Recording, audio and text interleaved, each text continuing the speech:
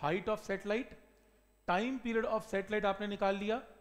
इसमें एच का मतलब कि हाइट ऑफ़ सेटेलाइट कर दो स्क्वेयरिंग करो। स्क्वेयरिंग करके ये टर्म एक तरफ़, बाकी टर्म एक तरफ़ कर दो।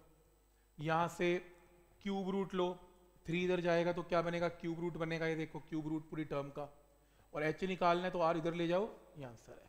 मतलब ये टाइम पीरियड के फॉर्मूले में से एच निकालना है स्क्वेयरिंग और क्यूब रूट लेके आंसर आएगा। कुछ नहीं करना है इसमें। ठीक है?